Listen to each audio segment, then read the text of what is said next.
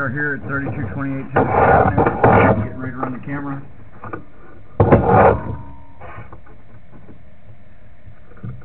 Is the clean out.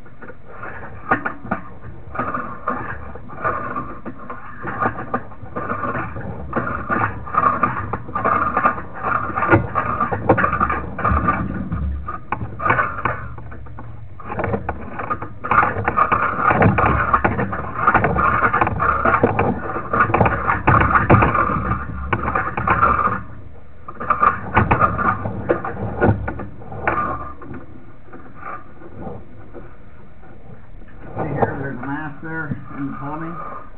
I'll mark this location. Found this location at the bottom of the steps going into the basement. Next to the drain at two foot five inches down. I'm gonna pull back from here.